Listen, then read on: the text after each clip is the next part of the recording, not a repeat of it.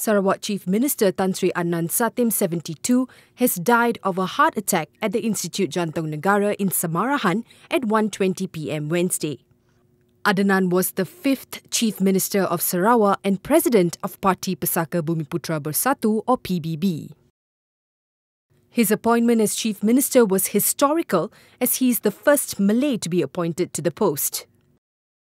State Local Government Minister Datuk Dr. Sim Kui Hian in a Facebook post confirmed Adenan's death and said Sarawak had lost a great son who devoted his whole life to the rakyat.